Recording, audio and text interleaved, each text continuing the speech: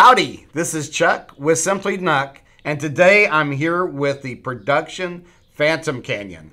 The previous video showed the prototype Phantom Canyon, and today we have the really cool production box. In this drawer, you'll find your power cord, your power brick, stand, VESA plate, and some panels because the skull on the unit is now replaceable with your own graphics. Looking at some Fire Strike numbers, you can see that this has really good performance.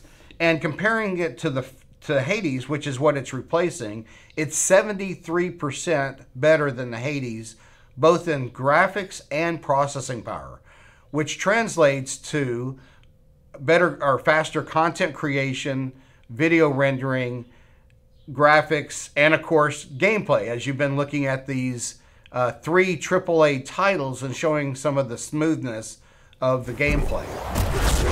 Adversary inbound. How am I What do we do? Target is highly mobile.